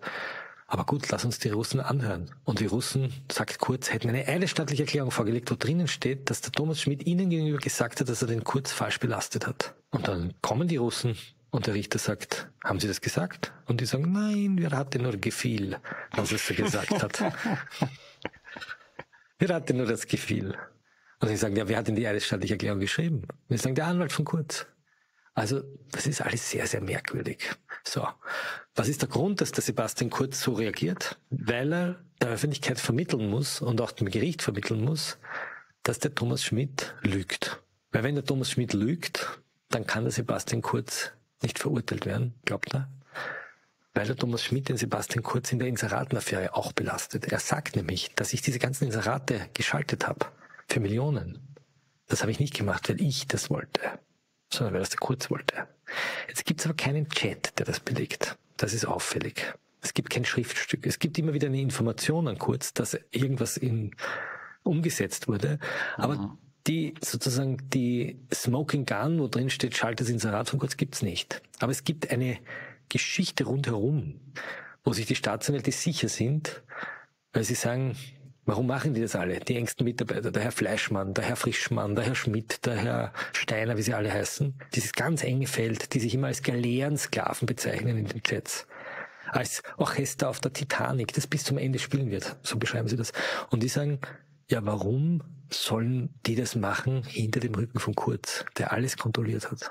Und daher wird es einen Indizienprozess geben. In zwei, drei Jahren wird der Sebastian Kurz in der Inseratenfähre angeklagt werden und es wird einen Indizienprozess geben. Der Wolfgang Feller wird angeklagt werden. Vielleicht die Eva Dichand. Es wird wahrscheinlich der Pressesprecher von Kurz angeklagt werden. Es wird sein Medienbeauftragter angeklagt werden. Es wird dort im Grauen Haus die halbe Republik sitzen und sich die Frage stellen lassen müssen, ob sie bestochen wurden von den Medien. Die Strafdrohung dafür ist nicht wie jetzt drei Jahre, sondern zehn Jahre. Zehn Jahre. Und ein Bundeskanzler, der eines Bestechungs, eines Untreue-Delikts überführt würde, würde eine unbedingte Haftstrafe bekommen. Der würde ins Gefängnis gehen. Das heißt, für Kurz steht tatsächlich unglaublich viel auf dem Spiel.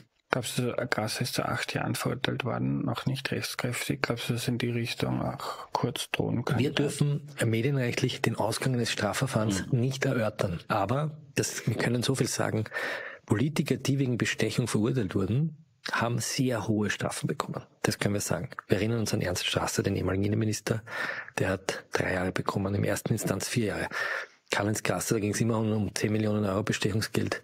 Davon ein Viertel an ihn, laut Urteil acht Jahre. Der drohen zehn Jahre.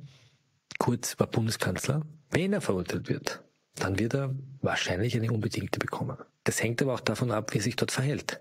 Das Interessante in diesem ganzen Komplex ist, dass die Beschuldigten, die reinen Tisch gemacht haben. Die Beinschab, der Herr Schmidt, mit einer relativ, sagen wir mal, für ihre finanziellen Verhältnisse harmlosen Geldbuße davonkommen. Während die, die darauf weiß man noch nicht genau, oder? Nein, aber Schmidt ja. dürfte, es ist ziemlich sicher, dass der den Grundzeugen wird das Ministerium entscheiden, aber es schaut so aus, als würde er diesen Grundzeugenstatus bekommen. Vielleicht auch nicht, aber riecht danach. Bernschab hat ihn bekommen. Erinnern wir uns an die Telekom-Affäre, der Herr Schissler, für die ganz Alten, die, der damals ausgepackt hat über die Bestechung der Telekom der ÖVP. Der Herr Birnbach in der Hypo-Affäre, der dann letztes Jahr eingestellt ist. Also die kriegen alle wenig, die müssen in den Knast. Die spannende Frage wird sein, ob in diesem ganzen Komplex irgendjemand irgendwann reinen Tisch macht und sagt, ich sag aus, weil ich will nicht in den Knast. Oder ob die alle stehen. Und letztlich ist die spannende Frage, ob ein Schöffensenat von der Staatsanwaltschaft überzeugt wird, dass die Geschichte so war, wie die Staatsanwaltschaft sie erzählt. Das wissen wir nicht. Kann auch ein Freispruch im Zweifel sein, es kann ein glatter Freispruch sein oder ein Schuldspruch. Was wir ziemlich sicher wissen, ist, dass es zu diesen Anklagen wohl kommen werden muss, weil wir einen Grundzeugen namens Thomas Schmidt haben, der bis jetzt noch in keinem einzigen Detail der Lüge überführt wurde. Mhm. Findest du das gut, dass in so Verfahren dann Schöffen zu Rate gezogen werden? Weil eigentlich gibt es ja in, bei dieser ganzen Causa niemanden, der nicht eine Meinung pro oder contra Kurz zum Beispiel hat. Naja, es, es entscheiden ja nicht, anders als im geschworenen Verfahren, nur Leinrichter, sondern es entscheiden zwei Berufsrichter und zwei Leinrichter. Das heißt, da sitzen schon Berufsrichter auch mit auf der Bank und Überprüft wird das Urteil ja vom Oberlandesgericht. Das heißt, es ist nicht so, dass da jetzt einfach das Volk entscheidet. Im Mordverfahren ist das so. Im Mordverfahren können acht Bürger aus dem Volk dich verurteilen und die müssen das nicht mehr begründen. Im Schöffenverfahren müssen sie auch eine Begründung schreiben. Das, was so wichtig ist, und vielleicht das zum Schlusspunkt, dass wir das alles wissen, dass ich dir das da alles so erzählen kann, verdanke ich dem Aktenstudium. Viele Informationen, die wir hier wissen, die gar nicht strafrechtlich einmal interessant sind, sondern auch politisch interessant sind. Wie diese Regierung agiert hat, wie sie sich Posten und Jobs zugeteilt hat, wie sie sich das, unser Steuergeld verteilt hat, wie sie mit Leuten umgegangen ist, wissen wir, weil wir den Akt lesen können. Warum können wir den Akt lesen? Weil in dieser Ibiza-Causa Dutzende Rechtsanwälte Akteneinsicht haben, ganz legal. In dem Moment, wo ich Beschuldigter oder Geschädigter bin, kann ich eine Aktenkopie erhalten. Die lade ich mal runter, wie aus einer Cloud, ein PDF. Und die dürfen uns das geben. Die Rechtsanwälte dürfen uns das geben und wir dürfen diese Akten zitieren. Was wir nicht dürfen, ist das Privatleben offenlegen. Wir dürfen nicht schreiben, äh, was der Herr Bildercheck privat macht. Der Herr Bildercheck ist übrigens verstorben. Der ist trunken in, in Niederösterreich, nachdem er als Geisterfahrer erwischt wurde. Man weiß nicht, ob es ein Suizid war oder ein Unfall. Er ist ertrunken, ein Fremdverschulden wurde ausgeschlossen. Der Herr Fuchs, sein Oberstaatsanwalt, wurde angeklagt wegen falscher Zeugenaussage vor dem Urschuss. Der hat einen sogenannten Aussagenotstand bekommen. Und das wissen wir alles. Und wir wissen viele Dinge, weil wir aus den Akten berichten dürfen. Aber wir berichten nicht über private Details. Wir berichten nicht über die privaten Fotos von Sebastian Kurz, seine Chats mit seiner Frau. Das interessiert uns nicht. Sind auch im Akt nicht veraktet. Es ist im Akt nichts Privates, sondern es geht immer um das Amtsverständnis. Es geht immer um die Verteilung von Jobs. Es geht immer um Seilschaften und Freundschaften, um öffentliche Ämter zu kriegen. Ich habe kein einziges privates Foto eines Politikers da drin gesehen in diesem Akt. Aber es ist der ÖVP zuwider, weil die lesen dauernd die Chats, die sie selbst belasten. Und daher hat die Verfassungsschutzministerin Caroline Edstadler, die übrigens bei der WKStA einen sogenannten Marshall-Posten hat, damit sie aufgewertet wird, vorgeschlagen, dass es ein Zitierverbot gibt. Das heißt, sie will die Medien zensieren. Sie will, dass wir das, was wir heute schreiben dürfen, nicht mehr schreiben dürfen. Und sie argumentiert damit, dass die Unschuldsvermutung verletzt würde und das Privatleben. Die Unschuldsvermutung und das Privatleben sind aber heute schon geschützt durch das Mediengesetz. Da könnte man höhere Entschädigungen einfordern. D'accord, bin ich sofort dafür. Aber sie wollen ein Zitierverbot. Diese ganzen Sätze, wo war meine Leistung? Da bin ich jetzt super nackt. Ich bin die Hure der Reichen. Wir brauchen steuerbare Weiber. Sebastian Kurz kann Geld scheißen. Wenn das in die Hose geht, sind wir hin. Kriegst dir alles, was du willst. Krieg den Hals nicht so voll. Nein, das hat er nicht gesagt. Er hat nur gesagt, ich liebe meinen Kanzler. All diese Zitate sollen wir nicht mehr schreiben dürfen. Diese Korruptionsprosa unserer Regierung soll die Bevölkerung, die diese Regierung bezahlt, nicht mehr erfahren dürfen. Das ist der Wunsch der ÖVP. Und man muss wirklich hoffen, dass keine andere Partei diesen Wunsch erfüllt, weil es wäre ein massiver Anschlag auf die Pressefreiheit. Jetzt sagen dann die Kritiker und ja, muss man gar nicht namentlich nennen, aber so wer soll noch in die Politik gehen, wenn da ständig irgendwie die zerfleischt werden in den Medien, jedes, jeder Chat, man macht sich drüber lustig, man liest das vor im Audimax etc. Aber wenn ich dir so zuhöre, dann könnte ich so sagen, ja, ist ja genau der Punkt, dass die Leute mit keinen so guten Absichten vielleicht irgendwann der österreichischen Politik fernbleiben, weil sie wissen, da ist nichts zu holen. Ja, das wäre ein guter Outcome des Ganzen. Wir haben ja ganz, ganz viele Politiker, die tadellose Arbeit leisten, die wenn die Ibiza-Affäre in den letzten fünf Jahren eine Sache gezeigt hat, ist, dass unsere, unser Sicherungskasten funktioniert. Die Untersuchungsausschüsse, eine Sicherung gegenüber autoritären Regierungen haben funktioniert. Die Presse hat im Großen und Ganzen funktioniert der investigative Journalismus im Standard, im Profil, im Falter, in der Presse, in vielen anderen Medien war vielleicht nicht so exzellent, wie es in Deutschland geworden wäre. Aber es gibt viele Kolleginnen und Kollegen, auch im ORF, Martin Thür hat, hat äh, Urteile erwirkt beim Verfassungsgerichtshof, dass wir Akten gegen dürfen, hat eigentlich ganz gut funktioniert. Also die Sicherungskasten Parlament, der Sicherungskasten Medien, aber auch der Sicherungskasten Justiz funktionieren. Und Sebastian Kurz wollte in diesen Sicherungskasten herumfummeln und wollte diese Sicherungen rausdrehen. Und es hat ihn aber dabei der Blitz getroffen und er ist zum Glück nach hinten geflogen und hat sich die Finger verbrannt und hat seinen Job verloren. Man muss sehr dankbar sein dafür, dass diese Sicherungen funktioniert haben. Weil wenn wir die mal rausdrehen, dann haben wir eine Regierung, die glaubt, sie kann sich alles erlauben. Und das ist zum Schaden des überwiegenden Teils der Politikerinnen und Politiker, die einen tadellosen Job machen. Aber wenn du jetzt sagst, ähm, die Medien haben ihren Job gemacht, wenn ich jetzt denke an den Diskurs, den man da führt in den letzten fünf Jahren und ich lese sehr viele Medien und deine, deine schöne Marioschka Aufzählung hat mich irgendwie, bin innerlich in mir brodelt's richtig, weil ich bin total wütend so auf dieses politische System, das sowas oder die einzelnen Akteure, die sowas verursachen, aber auch ein bisschen über den Diskurs der letzten Jahre, weil das ja bei ganz vielen Menschen diese Erzählung eine ganz andere ist. Und jetzt gibt es Investigativjournalisten, die gute Arbeit leisten in den Medien, aber die sind ja dann nicht immer die, die dann die Kolumnen und Kommentare schreiben. Das ist ein ganz gelernter Artikel, weil da ist ja dann oft schon, also diese Nebenschauplätze, so, woher kommt das Video? Ist die Wikist ja nicht doch überschießen so? Ah, der Kurz wird zu sehr draufgeschaut und so.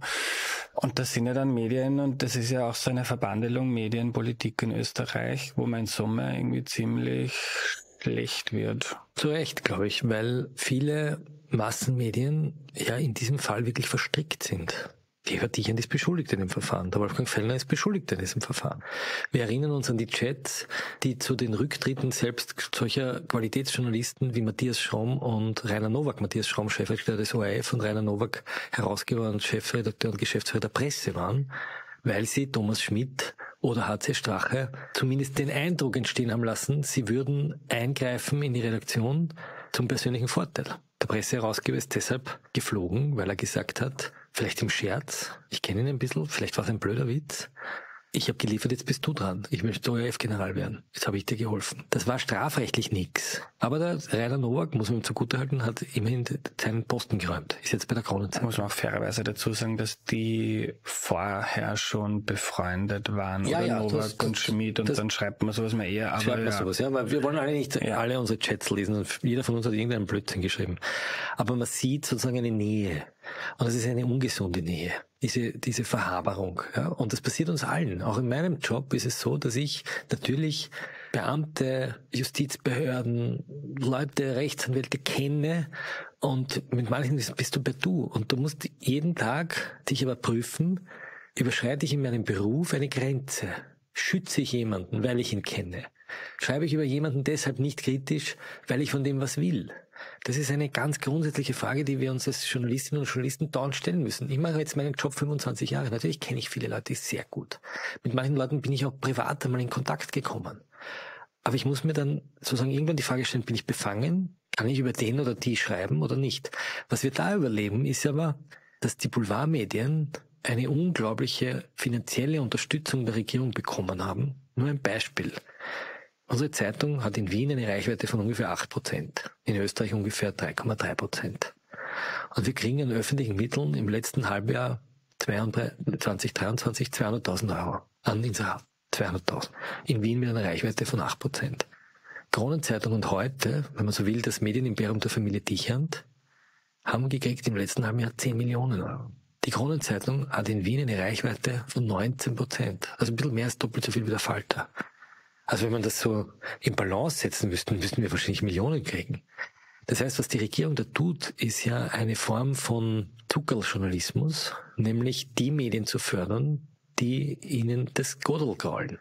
Dort Inserate hineinzuzahlen in die Medien, die unkritisch sind. Und unkritisch meine ich nicht, dass die nie kritisch berichten. Natürlich ist in der Krone und in heute kritische Berichte über die Regierung finden, aber die in den entscheidenden Momenten das nicht in die Headline nehmen. Ich kann mich erinnern, als die Ermittlung gegen Sebastian Kurz begonnen hat, war in der Salzburg-Krone am Cover die Meldung, dass sich der Landeshauptmann von Salzburg impfen lässt und dass einem Rauchfangkehrer die Leiter umgefallen ist. Das war fast schon eine, ein Signal der Redaktion zu zeigen, liebe Regierung, wir machen, was ihr von uns wollt. Und ihr Korruptionsermittler und ihr, die ihr versucht, den, den, den Mist aufzudecken, wir zeigen euch den Finger. Und das ist ein strukturelles Problem. Das ist ein großes strukturelles Problem. hat ZIP 2 nachgehört von gestern und da hat der, ist der Peschan, Wolfgang Peschan zitiert worden, der Innenminister war oder in der Experten. Kurz Innenminister, ja. Ja, kurz Innenminister. Und der begründet hat, warum er in seiner Zeit die Inserate abgedreht hat, weil sich ihm nicht erschlossen hat, warum wir da inserieren und es ihm auch niemand im Ministerium schlüssig erklären konnte. Aber es ist wieder eine andere Geschichte, wenn der, wenn der Staat tatsächlich aufhören würde, dann hätte man auch mal eine ganz andere Debatte um die nachhaltige Finanzierung der Medien. Aber es ist in Summe ein Sumpf, der einfach äh, ja, Katastrophe Es ist ein systemischer Sumpf und ich glaube, dass diese letzten fünf Jahre einige Teile dieser Sümpfe trockengelegt haben. Wir kriegen jetzt eine Medienförderung, die ein bisschen besser ist als das, was früher war. Aber wir leben ja in einer Zeit, in der es generell den Printmedien nicht besonders gut geht, weil sozusagen Social Media, Silicon Valley unsere Aufmerksamkeit stiehlt. Jeder von uns, der ein Handy hat, weiß das. Wenn man in Social Media geht, dann bleibt man, fliegt man in so ein Rabbit Hole. Wenn wir jetzt zum Googlen anfangen, in fünf Minuten sind wir irgendwo. Und die Konzentration auf Papier, warum haben wir das da liegen? Dieses konzentrierte Lesen und Recherchen von Anfang bis zu Ende, das kostet wahnsinnig viel Geld. Das können wir nicht leicht übertragen in diese Welt. Wir können da sitzen jetzt zwei Stunden. Ich kann die Recherche von fünf Jahren dir erzählen und hoffen, dass das jetzt viele Leute mitkriegen. Aber das kostet Geld. Und die Regierung ist kaum bereit, diese Qualität, diesen Qualitätsjournalismus zu fördern. Insofern bin ich froh, dass es wenigstens einen öffentlich-rechtlichen Rundfunk gibt, der öffentlich finanziert wird, nämlich durch unsere Gebühren. Und darum halte ich auch einen öffentlich-rechtlichen Rundfunk in den Zeiten, wo Medien so korrumpiert werden können, für unendlich wichtig. Nur damit du nicht falsch verstehst, ich sage nicht, dass die österreichischen Medien korrupt und gekauft sind. Die aller, allermeisten Journalisten in dem Land machen einen guten Job. Aber wir haben einige Medienherausgeber, die das Geschäftsmodell entwickelt haben, der Regierung Honig ums Maul zu schmieden, um Inserate zu bekommen. Und das muss aufhören. Ähm, Jetzt glaube ich, kann man schon sagen, dass die ÖVP, wenn man sich zumindest diese Akteure anschaut, so fast ein systemisches Problem mit Korruption hat. Und wenn ich jetzt an die Wahlen denke, die anstehen im Herbst wahrscheinlich, wo es nicht unplausibel ist, dass es wieder eine schwarz-blaue Regierung gibt, befürchtest du, dass so, man kann das jetzt, wenn man es jetzt historisch betrachtet, war ja Politik meistens nicht ein faires, rechtsstaatliches Aushandeln von Interessen, sondern irgendwelche Mächtigen waren an der Macht und haben die anderen ausgebeutet und sich das gerichtet. Und das irgendwie, Demokratie ist ja auch noch nicht so alt in Österreich. Und diese Aufteilung, das Land irgendwie zwischen den Parteien. Und jetzt gibt's da sehr selbstbewusste Fab vor in der Staatsanwaltschaft, die einfach ihren Job machen, die sehr viel Kritik dafür einstecken müssen. Und diese ganze Kritik auch an der WKStA, an den linken Netzwerken, das hat für mich ja fast so was Orwellianisches, so quasi die, die Netzwerke tendenziell gestrickt haben, werfen den anderen vor, dass sie... Das hatte ja was Berlusconi-haftes. Ne? Okay, die Roba ja. Man hat das sozusagen immer den Richtern vorgeworfen in Italien, nehmen wir diese manipulite Bewegung, ja, wo die Richter, da war es natürlich viel Ärger, da ist der Richter Falcone in die Luft geflogen, dann von der Mafia, ja, soweit sind wir hier nicht. Ja, mhm. Und das ist auch eine andere Form von Korruption. Aber natürlich das Angreifen von Richtern, von Kontrollinstitutionen, das hat eigentlich so mit Jörg Heider begonnen. Wir erinnern uns damals, da gab es so die ersten richtigen Angriffe, der Peter Westenthaler damals, der gesagt hat, die Spitzelaffäre für die ganz Alten unter uns können sich erinnern, wo die Richter sozusagen angeschossen wurden, in der Hoffnung, die knicken dann ein.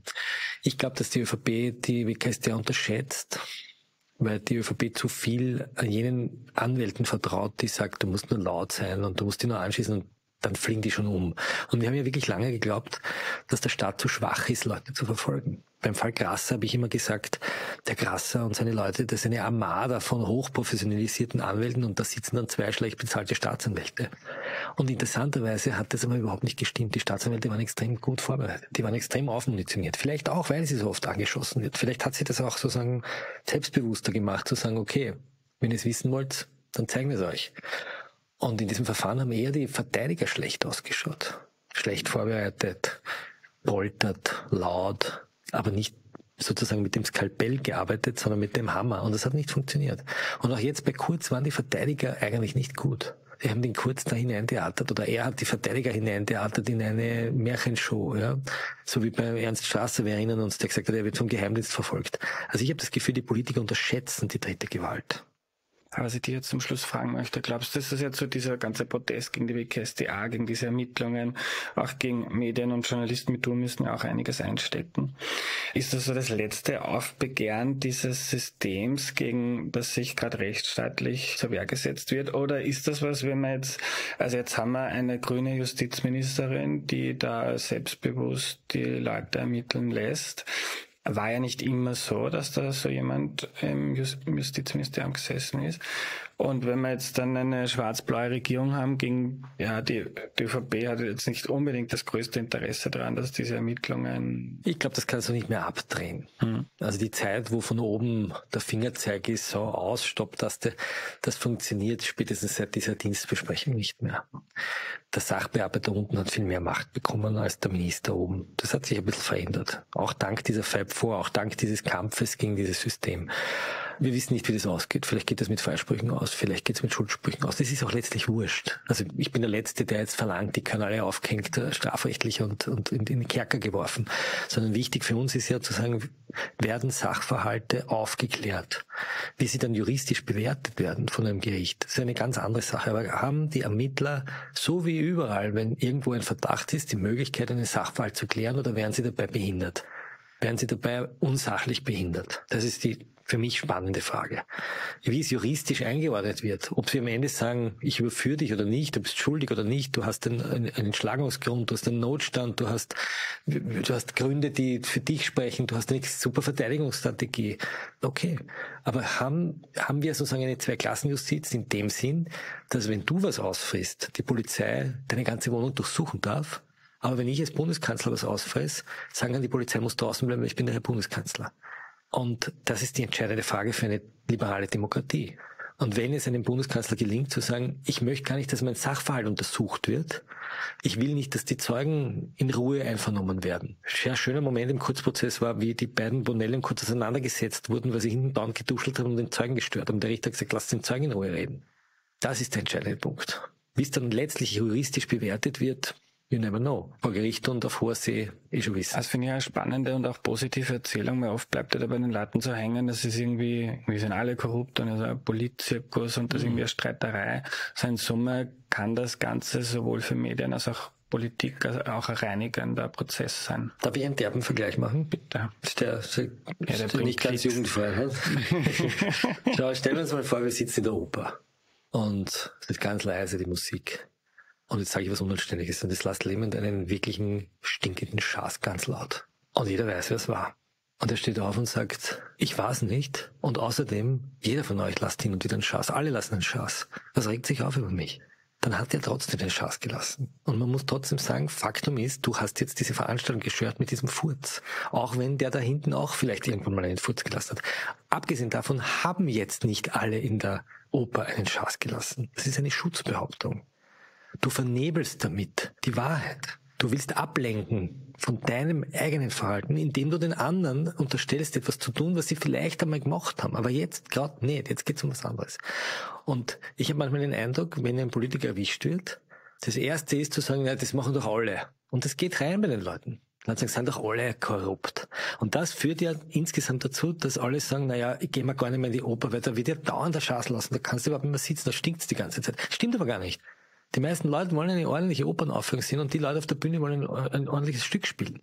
Und insofern, und da, dann glaube ich, müssen wir im Journalismus viel präziser arbeiten. Da werfe ich meiner eigenen oder manchen meiner Branche vor, dass man so drüber wischt, so Hick, Hack um, solche Schlagzeilen, Wirbel um, Match um. Das sind so Phrasen, die letztlich nur die eigene Arbeit erleichtern sollen, indem ich mir nicht sozusagen genau anschauen muss, wer hat recht. Das ist unsere Aufgabe als Journalistinnen und Journalisten, zu sagen, wer hat recht. Hat jetzt die Kammersin recht oder die Staatsanwaltschaft? Stimmt das Faktum oder nicht? Und Gott sei Dank haben wir immer mehr Kolleginnen und Kollegen, die genau diese mühsame Arbeit machen. Der Fabian Schmidt im Standard, die Renate Graber im Standard, der Martin Thür, die Ulla Schmidt, der Michael Nickbasch mit seinem Podcast, äh, die Kollegen von der Presse, der Manfred C.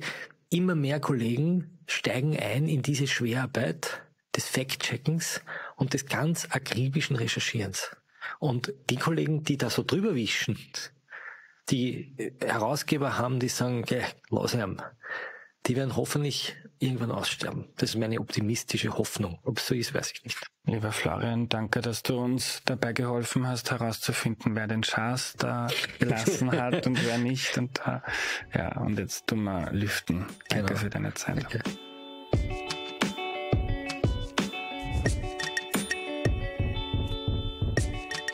Was nehme ich mir mit? Man verliert schnell die Übersicht, aber die Korruptionsermittlungen von Ibiza bis Novomatic, Kurz, Benko, Beinschab, Kammersin, Krone, Österreich, es hängt alles zusammen und zeigt in Summe ein nicht sehr schönes Sittenbild Österreichs. Zweitens, die Staatsanwälte in Österreich arbeiten akribisch und motiviert und dass sie jetzt so im Feuer der Kritik stehen, ist genau ein Zeichen dafür, nämlich, dass sie ihren Job machen und damit tritt man den Mächtigen eben einfach mal auf den Schlips. Drittens, nach dem Fall Karl-Heinz Grasser sind die Ermittlungen rund um Sebastian Kurz und seine Vertrauten der zweite riesige Fall von Korruptionsermittlungen in Österreich, die uns noch länger beschäftigen werden. Ist zwar nicht angenehm, aber ein Zeichen, dass die liberale Demokratie im Land stark ist. Grasser wurde ja erstinstanzlich zu acht Jahren Haft verurteilt. Bei Kurz drohen in der Inseratenaffäre bis zu zehn Jahre Haft, wenn er angeklagt wird. Also das ist der Strafrahmen.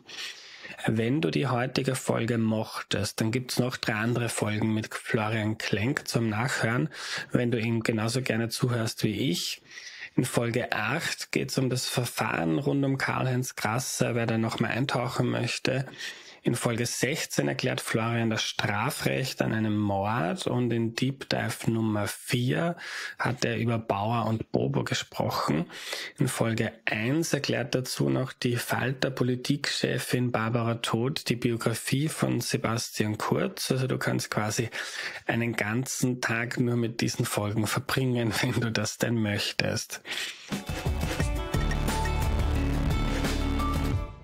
Das war eine Ausgabe des Podcasts Erklär mir die Welt. Bei Podcast-Kollegen Andreas Sator bedanke ich mich sehr herzlich für die Zusammenarbeit. Zu Sators Produkten gehört übrigens auch ein Klimapodcast mit dem Titel Sonne, Stahl, Welt retten ohne Illusionen. Ich verabschiede mich von allen, die uns auf UKW hören. Das Falter Radio können Sie abonnieren auf der Plattform, über die Sie uns gerade hören. Das ist gratis. Genauso wie Sie natürlich den Wissenspodcast Erklär mir die Welt abonnieren können. Alle Informationen finden Sie auf der Internetseite des Falter. Ein Abonnement des Falter selbst bringt Ihnen jede Woche wichtige Informationen in Ihr Postfach. Alle Informationen dazu gibt es im Internet unter der Adresse abo.falter.at. Ursula Winterauer hat die Signation gestaltet, Miriam Hübel und Clara Gottsauner-Wolf betreuen die Audiotechnik im Falter.